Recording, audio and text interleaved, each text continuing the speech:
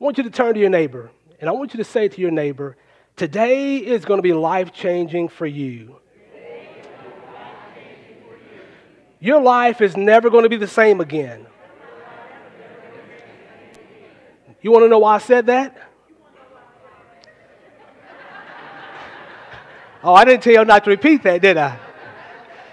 But do you know why? Don't repeat this, but do you know why I say that? I say that through faith because I just believe the Word of God. It's the inspired, infallible, inerrant Word of Almighty God. God says what He means and He means what He says. God has great things in store for you. Did you know that?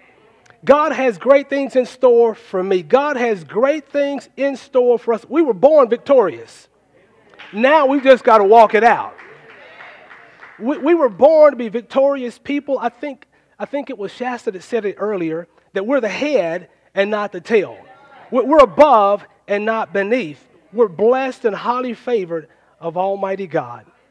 Listen to this the greatest obstacle standing between you and your goals your dreams, your destiny, your calling, your purpose in life, and you going to the next level is fear. The greatest obstacle standing between you and your dreams is not the person next to you. The greatest obstacle standing between you and your dreams, your goals, your destiny. How many of you know that all of us have a calling on our life? Not everybody's called to be a pastor. Not, not everybody's called to be a police officer. Not everybody's called to be a, te- a teacher, but everybody has a calling on their life. Everybody is important to God. The same anointing that's up on me is the same anointing that's up on you. But the greatest obstacle standing between all of that stuff, standing between you and your calling, standing between your purpose in life, standing between you going to the next level is fear. The fear of failure. The fear of making mistakes. I think it was John Maxwell said that the greatest mistake that we make is living in fear that we'll make one. Living in fear that we'll make one. Anybody ever been there? You didn't want to do certain things because you were afraid of messing up. You, you were afraid of it, it collapsing right in front of you. I see some hands waving right now. I was one of those people. And I'm still attacked by that from time to time. But the fear of failure, the fear of making mistakes, the fear of coming up short. Anybody ever felt like, man, I want to do it, but I just don't want to come up short. Man, I just, I just, I don't want to blow it. So I'm going to play it safe and stay right here where I'm at. The fear of being denied. I think we've all been denied of certain things, haven't we? The fear of being rejected. The fear of being humiliated. The fear of being laughed at. The fear of falling flat on your face. In no way, shape, or form am I saying that you don't need to plan, prepare, count the cost, or live recklessly. But what I am saying is, so what? So what if you fail? So what if you make a mistake? So what if you come up short? So what if you get denied? So what if you get rejected? So what if you get humiliated? So what if you get laughed at? So what if you fall on your face? At least you made the attempt by taking a step of faith. So what if you come up short? Who cares? That's how you grow. That's how you develop. That's how you become more mature by learning from your mistakes. And just because you come up short don't mean you failed. Just because you come up short doesn't mean you failed. Turn to your neighbor and say, So what? And you guys remember when you were kids, when somebody said something and you didn't like it, you would say, So what? Well, look at the popsicle I got. So what? Look at the popsicle I got. It's got a cherry on top. Well, we need to say to the devil when he says, You're going to fail, you're going to mess up, you're going to blow it. So what? Let me hear you say it. well, put another O on it. Go ahead. oh, y'all put too many on there. I said one, y'all put six. That's all right. We get the point, though, right? Don't you know that you have an enemy out there that's come to steal, kill, and destroy? God's put dreams inside of you, but the enemy wants to steal them. with fear. He wants to paralyze you. He wants to destroy the dream that God has placed on the inside of you. A song we used to sing in the church I grew up in Victory is mine.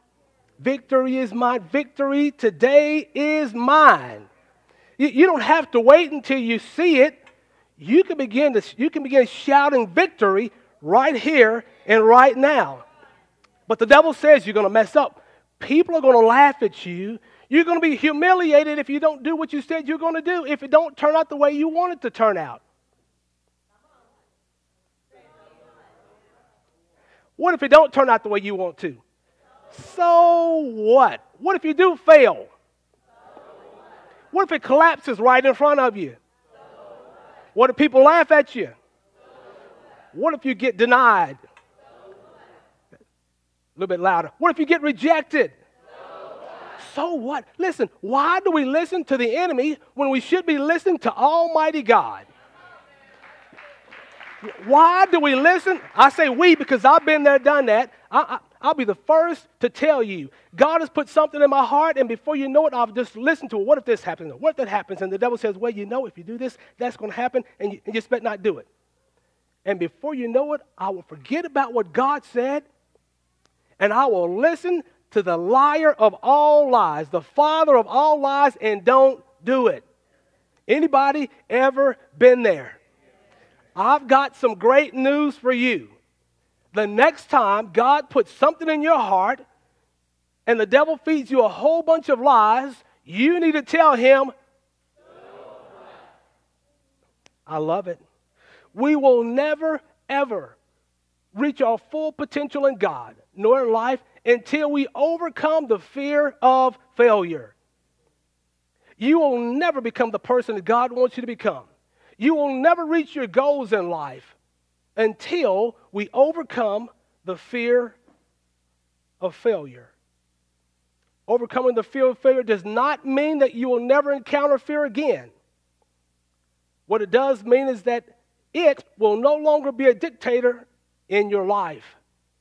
In fact, some of your greatest accomplishments in life will take place right in the face of fear. Some of your victories are going to take place while fear is staring you in the eyeballs. Now, I've heard people say for years if you don't have peace about it, don't do it. Well, I believe that's only partially true because you're going to have to do some things while fear is right there. You're not going to always have that ooey gooey chill bump feeling all over you. You're going to have to take a step of faith while you are afraid. But in the midst of being afraid, know that God is with you. And if God be for you, who can be against you?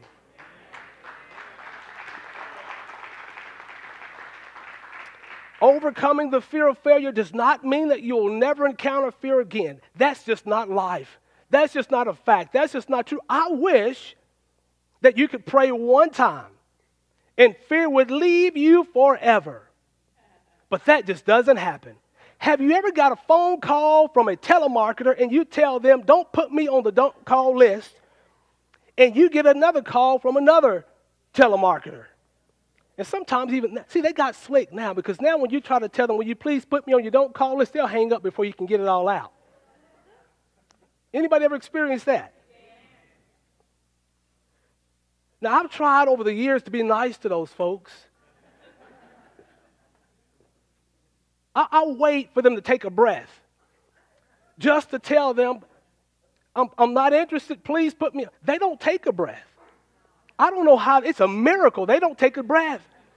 So you sitting there waiting and waiting for them to take a breath, and it never happens. But see, the don't call, uh, the, the, the telemarketers keep on calling. The enemy is going to keep on coming. The enemy is going to keep on pressing but greater is he that's in us than he that is in the world. God has given us dominion. God has given us authority. God has given us power over every demonic spirit that would try to put fear on the inside of you. The Bible says God has not given us the spirit of fear, but of power and of love and of a sound mind. But just because God hasn't given it to us doesn't mean the enemy won't attack us with it. It's going to come. You see, what you may or may not know is that you're a part of a ministry that almost never existed. You're sitting in some seats right now that you almost didn't have an opportunity to sit in due to the fear of failure. Around 2006, God began to speak to me about planting a church that would be something fresh, something alive, and something on fire for Him. God said that this new church plant would be a church where people from different races would be able to come together under one roof and worship Him together, regardless of denomination. God said that this new church plant would be a church where people would be, would be saved, renew their relationship with Him, in a place where those that have messed up morally, ethically, and spiritually could come and be restored and used again by Him and do might and great thing, might and great things in the kingdom of God. Is that happening?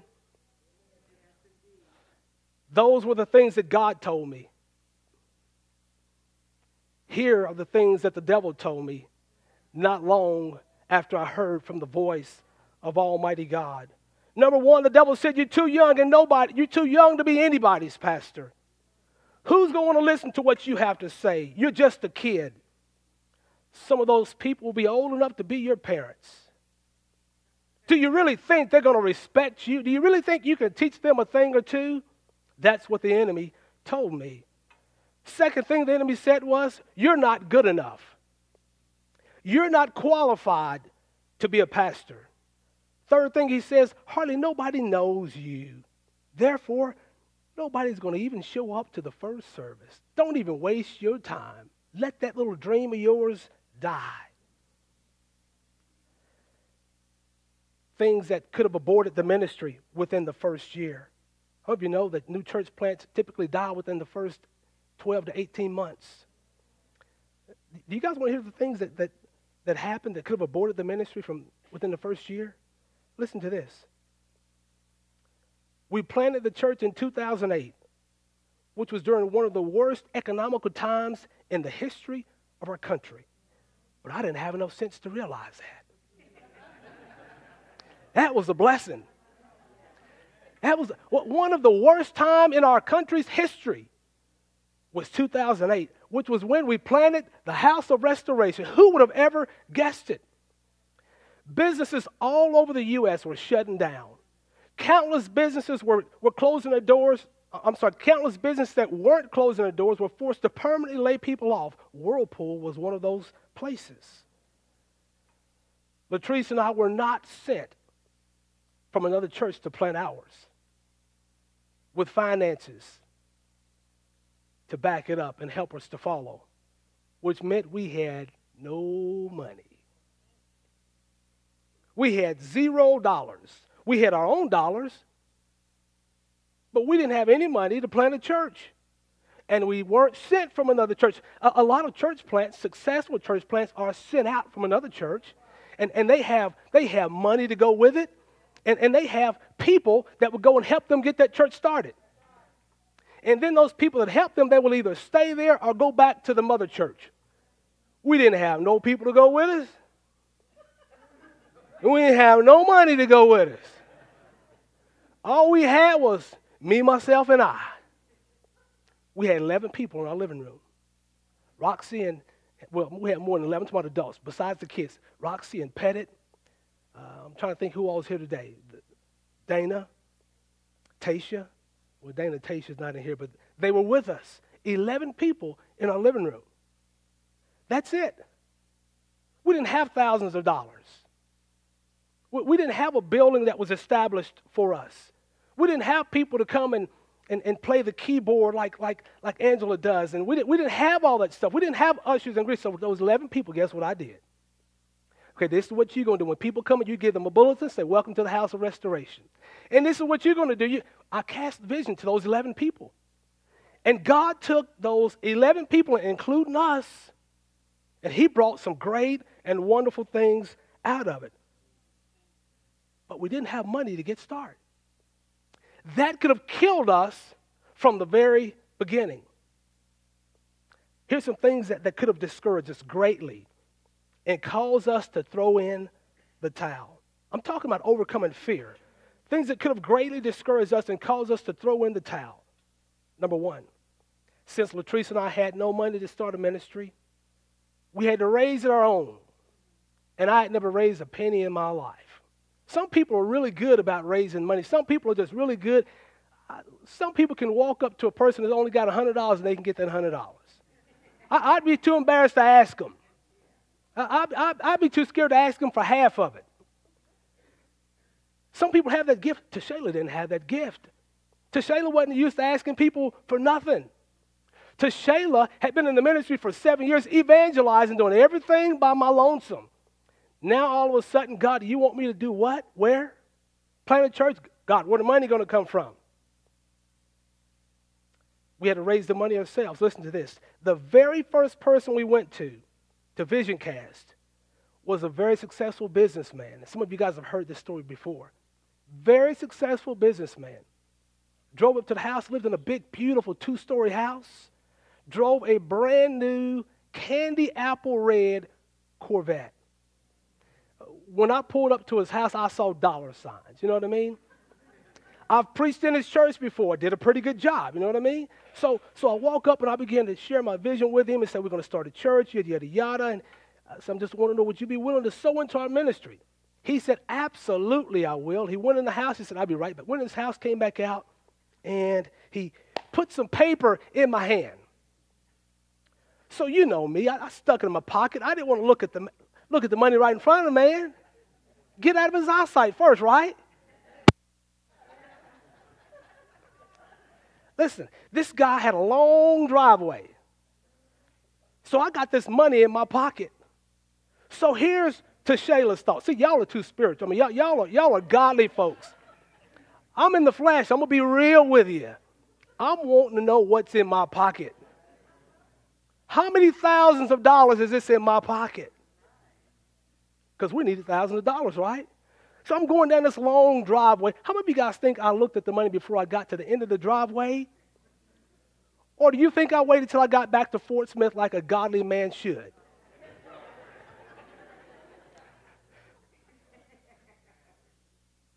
Well, don't look at me what you think I did. You ain't got no faith in your pastor.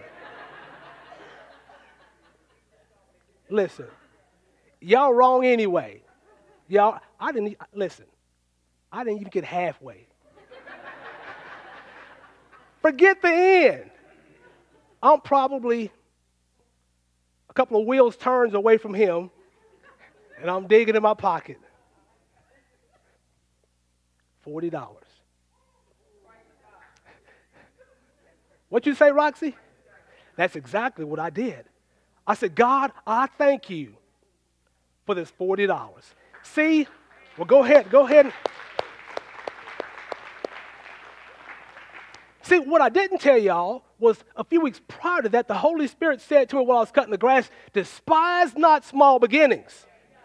I said, God, what do you mean by despise not small beginnings? What, what do you mean by, I know what that meant, but I didn't know what he meant by saying that to me. He never responded. About a, a few days later or a week later, God says again, despise not small beginnings. God, what does that mean? He didn't tell me. But when I got that $40 and I looked at it, the Holy Spirit said for the third time, despise not small beginnings. I put that $40 right back where it came from and said, God, I thank you for this $40. After that, After that, we began to get checks for $2,000, a check for $1,000, checks for five. We raised $15,000. And that sounds like a whole lot of money, but in reality, it's not. But $15,000 was a whole lot of money for Shayla, who had never raised a dime in his life. But that was a moment that could have caused us to throw in the towel. You get $40 from a rich man. Well, at least it looked like he was rich. $40. Now, in the natural, be honest now, in, in the natural, if God hadn't spoke to me prior, I probably would have said, hey, you tightwad. It costs more than $40 to fill up your Corvette. You can't even buy a vacuum cleaner with $4, $40.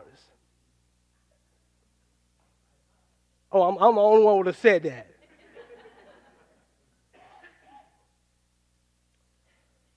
Our very first service, we had over 200 people that showed up. Of course, several of those were well wishers. Everybody come to your first service, they ain't coming back for the second. That they come to wish you well. They come to support you. I'm here to celebrate with you. Within that 200 people, you got some nosy folks. They want to come and see what things look like and see how things. Let's just keep it real. You got some nosy folks that will show up in your church, and then you got some that want to see you fail. That's why you show them Jesus. You know what I mean? 200 people showed up. The second service, let me tell you something. Let, let, me back up. Our first service, we walked out of we walked out of my office about 10:15. Walked out of my office about 10:15. Come from the back, walk up to the front, just like I'm doing right now. And I sat in this chair right here. Well, sit on the front row. When I walked out, how many people you think was there? First service, 200 people at 10:15. Second service, and for you, you that know, don't say nothing. How many of you guys think, Anna, you guys don't know? How many people do you think the second service was? 50. Who said 50? 50 people. How many people you think? 20. Oh, thou. Oh, thou of little faith. I got to get away from Anna. His answer sounded better 50. Who else wants to guess? How many people you think was our second service at 10:15? We started at 10:30. 10:50. How many people? 200. Who said 200? 200. 40. 40. One more. 70. Who said 70? 70 people. Wrong. it's about 30 people. About 30 people. That second service that we came out, first service at 10:15, we had over 200 people in there. Second service, about 30 people. My heart sank. I came up here on the front row and Roxy had tried to go through the motions of, of worshiping God. I'm looking at Roxy because she was with us. Trying to go through the motions of worshiping God, but I'm thinking, where are these people at? Started this church and they kept their behinds at the house. 30 people. God, what you doing? Praise and worship is over with. I get up here on the stage, turn around, and I was like, where'd he come from? By then, it was about 80 people. But I didn't have enough sense to realize that 80 people for a new church plant was pretty doggone good.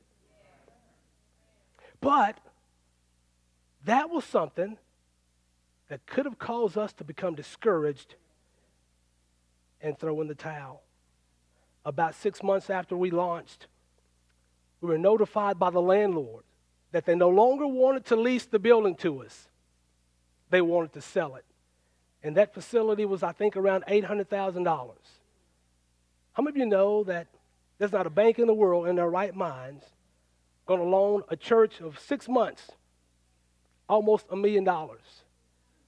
So now here we are. I got to get in front and tell the church, listen, we got to get out of here. We, we got to relocate. And that was hard to do. A lot of stuff that we saw was more than what we could afford. The old Best Buy? You guys know where the old Best Buy used to be? How much you think that was a month? Too much. $20,000 a month. Y'all hear me? Not a year, a month. 20,000 bucks. The old Michaels on Rogers Avenue, 6000 or, or $8,000 a month. The place in, in the Quarry Shopping Center where the uh, Halloween stuff comes uh, yearly, $6,000 a month. We ain't had no $6,000 a month. Who think we TD Jakes or somebody? My name to TD, all right. It ain't no Jakes.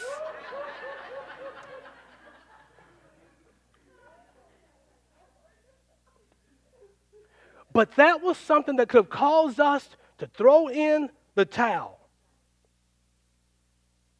Someone say, but. But today, I proudly stand before each of you to say that the House of Restoration is the largest multicultural church in Fort Smith, Arkansas, where the pastor is black and we have just as many white members as we do black. Glory to Almighty God. Glory to Almighty God. I said, Glory to Almighty God. I said, Glory to Almighty God. I said, Glory to Almighty God. I said, Glory to Almighty God.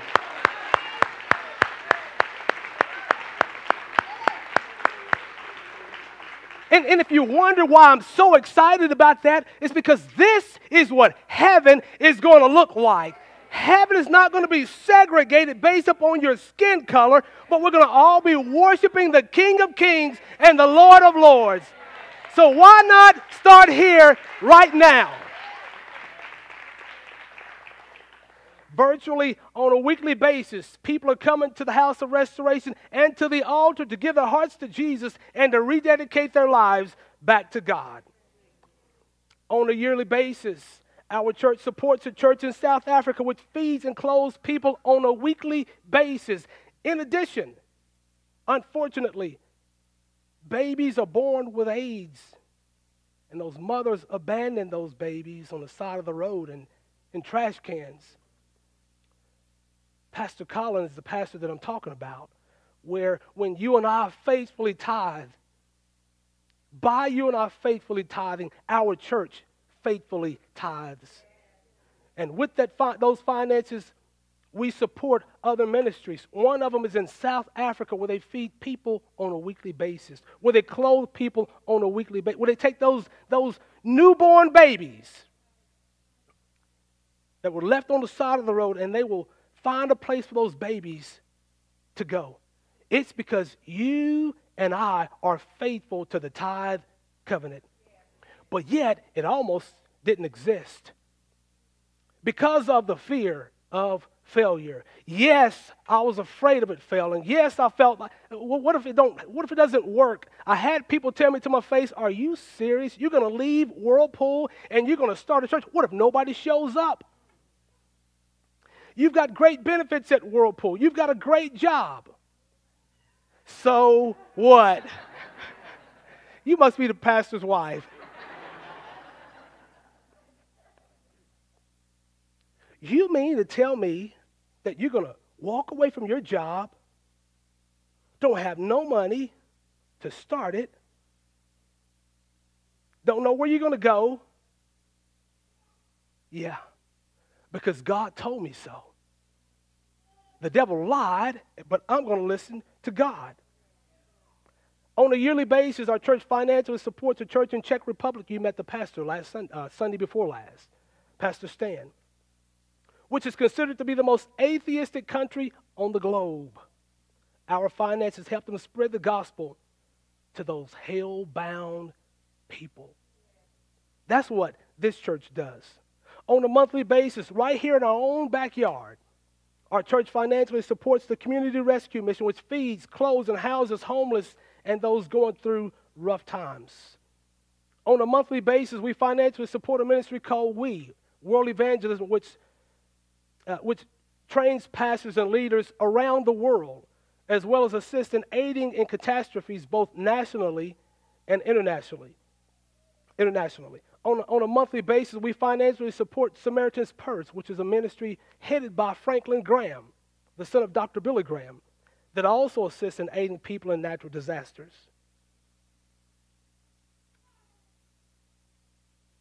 On a sometimes weekly basis, just depends on the situation. We also support people right here in this very church that goes through financial problems. Lost a job, got laid off, whatever the case might be, where their electric bill is going to get turned off, their gas bill is going to get turned off, they might get evicted. Because of this house and because of your faithfulness to the tithe covenant, we're able to help those people. God, in His infinite wisdom, took this young black man, kid, that the enemy said was too young to pastor a church that don't know anything, that's not qualified, and put a dream inside of his heart. Every good gift and every perfect gift comes from above. God put something inside of my heart that I can't even put into words today fully to help you understand. But about two years ago, when, when all of this, the Confederate flag stuff was going on, and when, when police officers were shooting people, and, and a big racial stir, racial stink was stirred up. It, it, was, it was, I could feel it right here in Fort Smith. Uh, we, we could also see the situation with Southside High School where they, where they removed the Dixie song and they, they moved the, the rebel flag and all that kind of stuff. Caused a lot of racial. Right here in Fort Smith, I could feel the stink. I could feel the, the, the racial tension. I could feel it. I could see it. And not long afterwards, in July of that same year, 12 police officers in, in Dallas were ambushed, and five were killed. See, something that you may or may not know is that I am a volunteer police chaplain right here in Fort Smith, Arkansas. Have always had a love for police officers. Grew up as a kid desiring to become a police officer, but God had a better, not a better, but God had another plan. Not a better. Not a, not a better. God had a, another plan. But yet I still had this yearning in my heart to love those men and women in uniform. Those people that are willing to go behind those doors, not knowing what's on the other side, and sometimes knowing what's on the other side. And then when all kinds of mess break loose, when everybody's fleeing to safety, they're fleeing to harm and danger. I got up on a Monday morning and I said to Latrice, I wonder why one of the well named, well known well seasoned, household name pastors in our community hasn't called together a citywide prayer gathering of Christian churches. Forget the denomination. Forget the fact that we're different skin tones. But the common denominator is J E S U S. The common denominator is Jesus. Look at the power that would be in the house if we could all come together. Forget about whether you speak in tongues or you don't speak in tongues. Forget about whether you wear makeup or you don't wear makeup. Forget about the fact that you think it's wrong to eat pork or not eat pork. I'm going to eat pork and still praise Jesus. that was free right there, y'all. See, the enemy wants to use denominations to divide the body of Christ. But yet we still come all from the same risen Lord. But why hasn't, why hasn't one of these well known pastors, somebody with influence, you know how we think, somebody that you just say, hey, let's get together on such and such date at 6 o'clock. Okay, we'll be there. See, my thoughts were they'll listen to them before they listen to me because they know him. They, they, everybody knows him. Just as quickly as I said that, the Holy Spirit spoke to my heart and said, That hasn't happened because it's not their assignment. It's yours. It's yours. Listen, you ever seen a commercial or a cartoon where, where the little cartoon character just, just automatically, he just stands up straight or he, he just instantly something on the inside of me began to well up. Some excitement that I can't, passion that I can't explain. Latrice and I went to the office that day. We didn't know how to do this. We didn't know what to do. To our knowledge, this never happened in our city before. How in the world do you get all these churches together under one roof? How do you contact them? You don't have their information. Google. Christian churches in Fort Smith, they spit out over 100 names.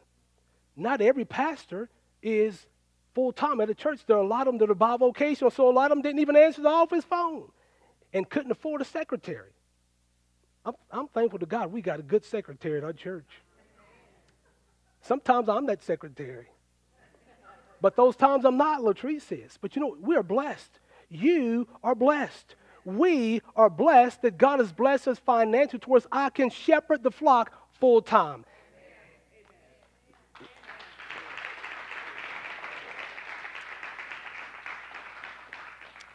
We Googled, they spelled over 100 names. So, man, we're calling. Latrice is in her office. I'm in mine. We calling. We calling. Not, hardly nobody's answering. So we leave a message on the answer machine. I said, Latrice, we'll be here for a month of Sundays trying to do this. Let's put those same numbers that we Googled and let's just put them on. We'll, we'll, I'll, I'll write out the vision, put it in the mail, and we'll just send it to them. The first city on our knees prayer gathering that we had was at ET. Standing room only. Over 1,100 people showed up to that prayer gathering. The Spirit of God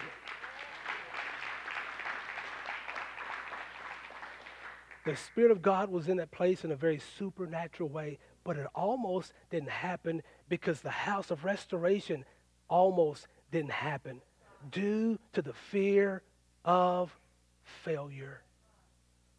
What's on hold in your life today? What's at a standstill in your life today due to the fear of failure? Are you no longer walking in your calling? Have you not answered your call to the Spirit of God? Or have you no, have you no longer answered, or have you not answered your call to God? Are you setting on fear? The fear of failure. What if it doesn't work? God, I don't know what to do. Well, guess what? I didn't know what to do either. But God showed me. God will never call you to something that He will not direct you to. God will never call you to do something that He will not guide you and lead you. That would make Him look bad. I've made some mistakes in the ministry. I've made some, some no nos. I've, I've, I've made some mess ups. So what? Pick your big boy britches on and keep on moving. Mistakes don't justify, uh, mistakes don't um, they don't control who you are. M- mistakes don't define who, there's my word define. Mistakes don't, y'all knew I was trying to find that word, huh? Y'all should have helped me. Define, Pastor. Mistakes don't define who you are, they develop who you are. They give you character, they help shape you, they help make you, they help mold you. But man, we fight so hard not to make them. If you can find one man in the Bible outside of Jesus that never made a mistake, I'll show you a person that doesn't know what they're talking about. Because there's not a person in the Bible, there's not a person walking the face of the earth that, are, that have ever walked the face of the earth outside of Jesus that's not ever made a mistake. It's not the mistakes that kill you. It's not the mistakes that destroy you. It's the fear of thinking you're going to make them, therefore, you never even start. How many lives can be touched and transformed just with you carrying out your purpose? What does God call you to do? Where's your destiny? Where's the next level in your life? Is it on a shelf somewhere? Have you forgotten about it? Is it full of dust right now? Is it buried somewhere deep in the ground, rotting away? God can use anybody. I close with this right here.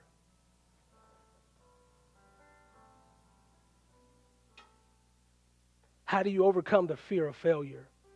I think we're going to have it up on the screen. It should be the last point. How do you overcome the fear how do you overcome the fear of failure? That's a good question, right? How do you overcome this monster right here? Now, the answer might surprise you. The answer might shock you, and you might even disagree with the answer.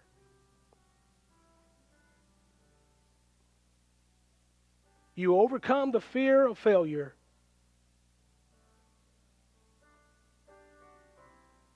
when you bury the spirit of pride. You overcome the fear of failure when you bury the spirit of pride. Can I tell you the essence of all of that? Listen, this church almost didn't exist because I was afraid of flopping.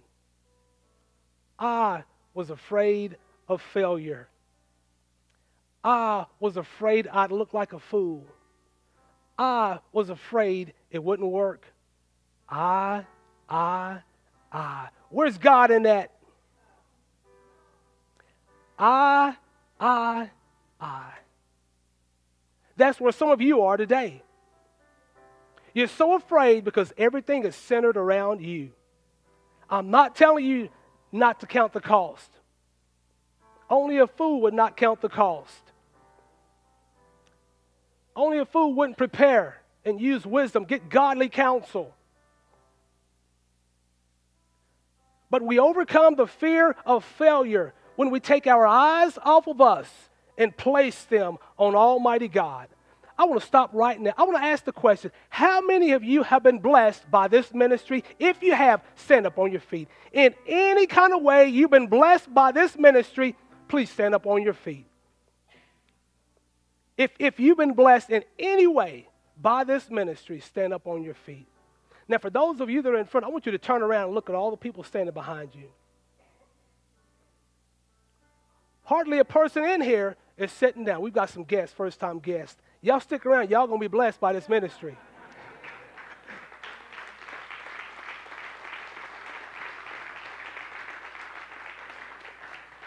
You may be seated. See, because of the pride that I didn't realize was that that was hidden beneath the surface, almost caused me to get in the way of your blessing. You almost didn't show up in this building because of the fear of failure that took place back in 2006 or whenever it was. I'll never forget, I was riding down Rogers Avenue not long after we started the church. And I had this thought God, I'm going to stand before you one day and give an account for how I've conducted myself, give an account for how I've led this church. And it occurred to me, Tashala, where would these people be if you hadn't been obedient to the call of God on your life? Would they be sheep just wandering in the wilderness? Would those that were on drugs still be on drugs, but maybe deeper in that mess? Would those that have low self esteem be even worse than what they were? Would those that were hell bound, that have died since you knew them, be in hell right now? But because they came to the house and found Jesus, gave their heart to Jesus, or rededicated their life, in the presence of Almighty God. See, I had you to stand up for a reason. How many people are waiting on you to overcome the fear failure and step out on faith? Fulfill your purpose, fulfill your destiny Answer the call of God on your life. Maybe it's not to preach, maybe it's to start a business, but you're afraid it won't succeed. If God before you, who can be against you? But God, I don't, God, I don't know how to run a business. I didn't know how to run a church. Some of y'all might say, I still don't. That's between you and God.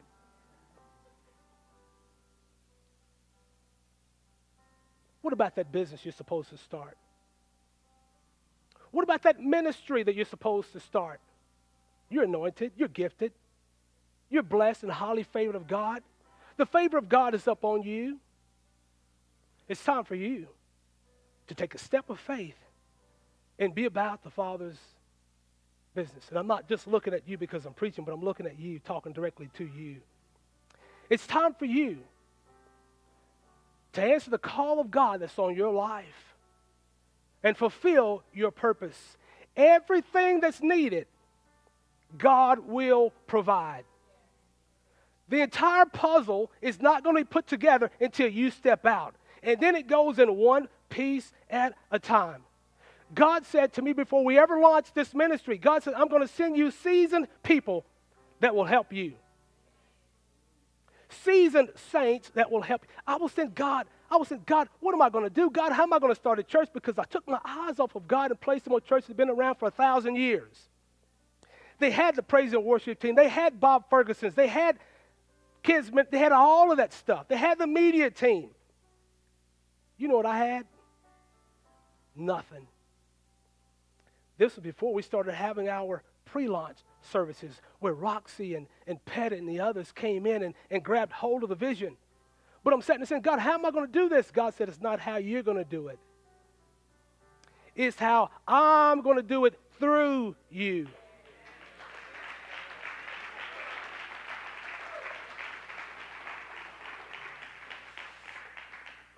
I'll never forget. I was sitting in the bathroom one evening on the floor, leaning up against the tub. I better be careful with that. Sitting on the floor, leaning up against the tub, having a pity. Anybody ever had a pity party? Anybody lift your hand if you had a pity party? How about a scary pity party? You scared half to death. Not scared, you scared. Difference between scared and scared. The phone rings. And it's a good friend of ours, Belva Some of you guys may know as Belva Graham. Anybody know Belva? Mighty woman of God. She calls me, and, and, and whatever reason, God wants to talk to folks about me, you know what I mean? She said, Pastor, I just want you to know, and I wasn't even a pastor at that time, but she referred to me as pastor.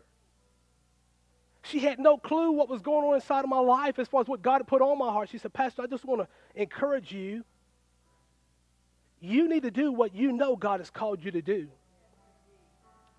Now, I like to pick, how many of you guys are analyzers? Of course, you ain't to raise your hand. I analyze things sometimes. So I wanted to see where she was headed with this. I said, what, what, what are you, I'm playing dumb, y'all. What do you mean? You know what I mean. God is calling, calling you to raise up a church in our city. Wow. She said, Shayla, let me tell you something. Do you want me to tell you what the problem is? Blew my mind. She said, the problem is pride. Now, I took that kind of personal. I, I really didn't. I didn't tell her that until months later. I took that kind of, that offended me because she said I was being prideful. I'm thinking, how in the world am I being prideful? I want to do the right thing. I, I want to make sure that, that I'd accomplish what God has called me to accomplish. I'm counting the cost. I'm trying to give myself, I'm trying to make it sound right. You know what I mean? Oh, but was she right? It was pride. Because I was trying to figure out how I was going to do it. Not that I wanted the glory, but I wasn't trusting God. God said, I'm going to send you seasoned saints that will help you in the ministry. And let me tell you, he's done it. And he's doing it. Two of them, there, there are more than two, but specifically two of them are, are in the audience right now. There's a woman here right now that we started in 2008, so September this year will be 10 years.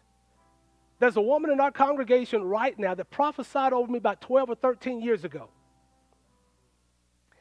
and said, God is going to raise you up to lead a powerful ministry. She said, Stay humble. I can't remember the, all the words, but she said, Stay humble. But God is going to raise you up to lead a powerful ministry. That was about two or three years before we ever started. At this point in time, God hadn't even spoke to me about the house of restoration.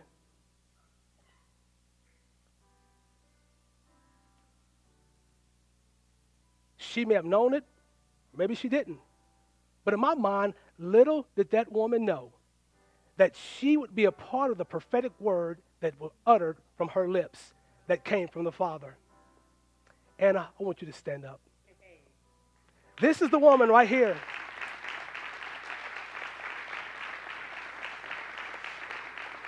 Go ahead and stand, Ben.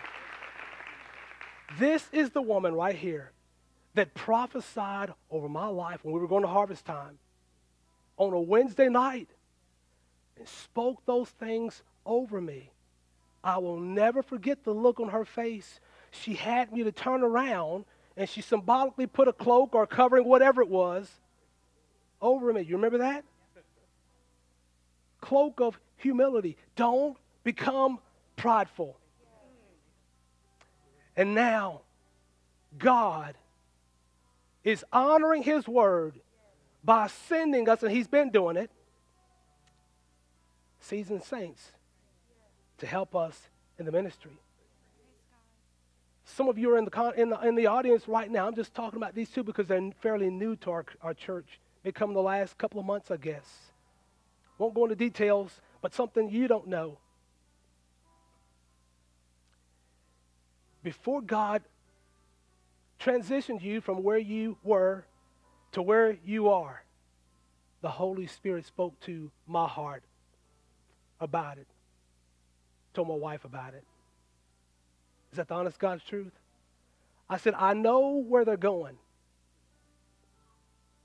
Where? The house of restoration. How do I know?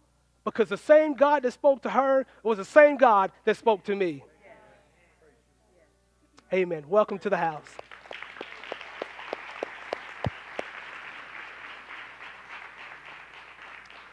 With that being said, Anna, do, do you want to share anything or are you, you good? You, you want to share anything about that? Let me get the mic if you do. It's, Latrice, is, will you give that, will you give that mic to, to Anna? This wasn't planned. She didn't expect to speak, so. I just remember that night, and uh, we were to pray for others. And um, a lot of times when you prophesy for someone, you don't remember what you say, you know, because the Lord is talking through you. And so you will prophesy for, over someone, and uh, they'll say, Remember when you told me this, or you remember when you told me that? I remember every word wow. of that night. And I went to him and I found him, and he was talking to someone else. And I said, Tashala, you, you are going to, the Lord is going to build a mighty church through you, a big church, a, a mega church. Wow. And I said, Now turn around and I put the cloak of humility on him. And I said, Don't ever take it off. Yeah. Ever take it off. And I don't think he has. Amen. Amen. Thank you. Thank you.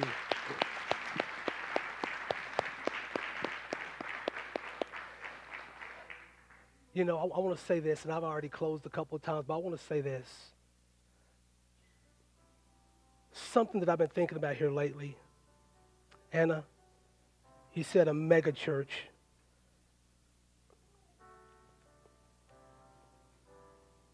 I think about the church.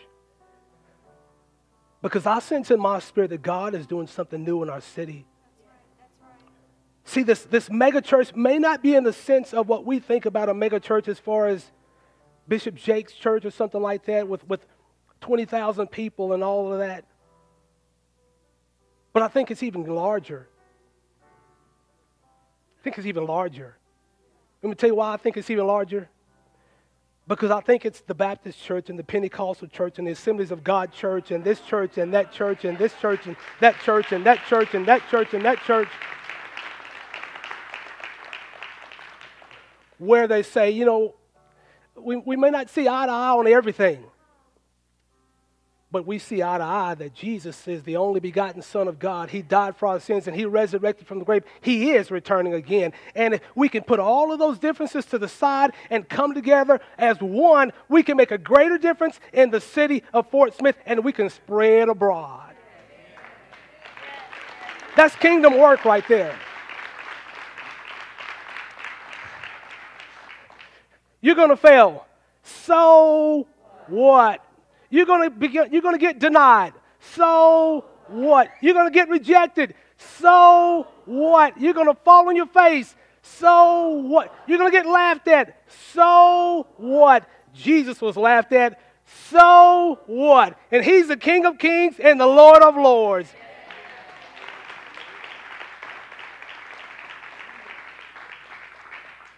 real quickly, how do we overcome the fear of failure? Put your pride to the side and trust Jesus. That's what it all boils down to. It's that little bitty hidden thing. When we think of pride, we think of being puffed up because that's what tricked me. I thought she was saying I was being arrogant, but I wasn't being arrogant. I was just focused on Tashala. See, it's the current that drowns people. You can't even see the current, it's beneath. And logs are under there, and rocks, and all kinds of mess. And you don't see that. It's the undercurrent that drowns people, it takes them down the river. Sometimes pride in that form you don't even see that will choke the life right out of you. Every head bowed and every eye closed, and nobody looking around. God, I have preached this morning from the depths of my heart. I have proclaimed the word of Almighty God. And Lord, I know that this word is a life giving word. And Lord, I know without a shadow of a doubt that for a word like this to come forth, there must be people in this room that are in need of that word. And Lord, I just believe that you're trying to raise up some people in this house. I believe, Father God, you're trying to help them or you're going to help them overcome the fear of failure. But Father, they're going to do that by taking their eyes off of themselves and placing them upon you. They're going to take their eyes off of their inabilities and place them upon your abilities, oh God. They're going to take their eyes off of where they're limited and place their eyes on where you are limitless. You can do all things. And Lord, I just declare that today is a day of victory for those that have been walking in fear, that they will stand today and say, No longer will I allow this dictator called fear to rule my life, but only the Spirit of the living God. In Jesus' name. With every head bowed and every eye closed and nobody looking around.